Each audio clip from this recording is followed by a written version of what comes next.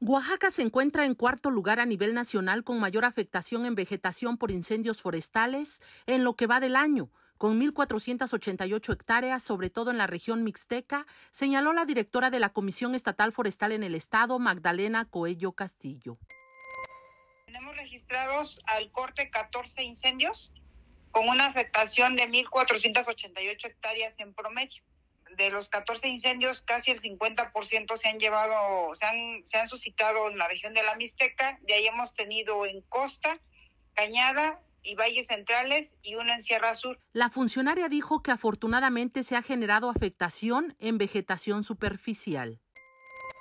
Esto quiere decir que no hemos tenido incendio de copa o de los subterráneos que de alguna manera afectan más este, eh, la vegetación simplemente, yo sé que todo, todo incendio eh, daña a los ecosistemas, pero este han sido eh, nada más eh, lo que es, sustrato herbáceo, ramas, hojas, pastizales. Por número de incendios, Oaxaca se mantiene entre los 10 estados con mayor incidencia, pero en cuarto lugar por superficie afectada luego de señalar que entre el 85 a 90% de los incendios son causados por el hombre, resaltó la importancia de tener cuidado para evitar ser causantes de estas conflagraciones. Mega Noticias, Yamilet Carranza.